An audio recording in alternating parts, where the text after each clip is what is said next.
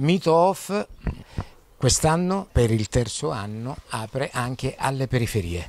Il Casale dell'Arte apre le porte alla cultura. Come vedete alle mie spalle abbiamo un cartellone eh, molto intenso.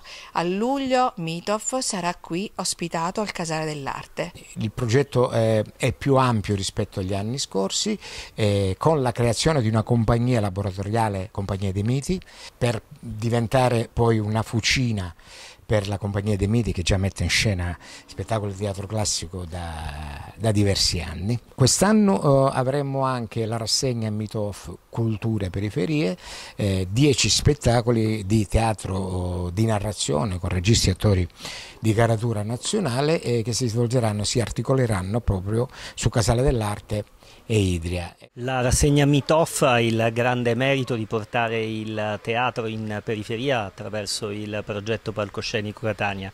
Io ringrazio Salvatore Guglielmino perché ha interpretato perfettamente lo spirito eh, del bando proposto dall'assessorato alla cultura del Comune di Catania che eh, realizzerà una serie di attività laboratoriali che coinvolgeranno i ragazzi dei quartieri periferici della città, eh, il Tondicello della Playa, San Giovanni Galermo, la zona di San Cristoforo saranno coinvolti in questo progetto a dimostrazione che si può fare arte, si può fare cultura, eh, si può fare inclusione sociale utilizzando uno strumento straordinario come quello del teatro.